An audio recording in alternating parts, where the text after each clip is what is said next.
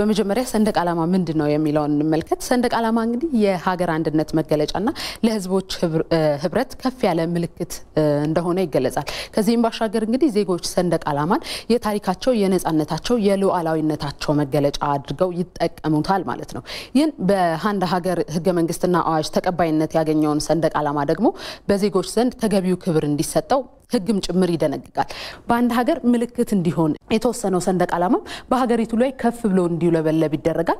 ይህ ደግሞ የሰላም የድል አድራጊነትና የስኬት መገለጫም ተደርጎ እንግዲህ በህዝቦች ዘንድ ይወሰዳል ማለት ነው። ሰንደቅ ዓላማ እንግዲህ በዓለም በተለያዩ ሀገራቶች እንደሚከበር የተለያዩ መረጃዎች ያመላክታሉ። ሰንደቅ ዓላማ የሚከበር ቀን የሚከበርባቸው ሀገራት እንግዲህ ኢትዮጵያን ጨምሮ ወደ 52 የሚጠጉ ሀገራት ናቸው።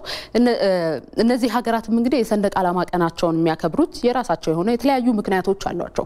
ከነዚህም ምክንያቶች እንግዲህ የሀገራት ታሪካዊ ዳራ ለራሱ ለሰንደቅ ዓላማው ያላቸው ክብርና ውዴታን ለማሳየት የሚያከብሩትም አሉ። እንዲሁም ደግሞ ገሚሱ ከቅኝ ግዛት ነፃ የወጡበትንና የራሳቸውን ሰንደቅ በነፃነት ያውለበለቡበትን ቀን መነሻ አድርገው የሰንደቅ ዓላማ ቀንን ያከብራሉ ማለት ነው።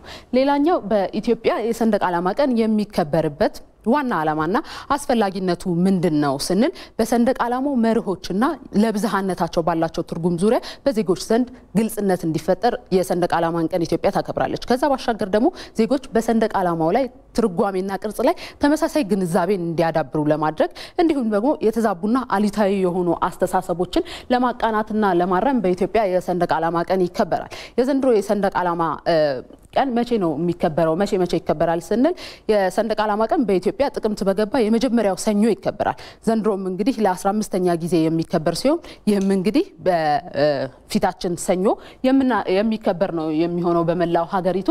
የሰንደቅ ዓላማ መሪ ቃል ምንድን ነው የሚለውን ስናይ ደግሞ ሰንደቅ ዓላማችን የብዝሃነታችን መገለጫ የሉዓላዊነታችን ምሰሶ ነው በሚል ኢትዮጵያ በሰኞ 15ኛውን የሰንደቅ ዓላማ ቀን ታከብራለች ማለት ነው።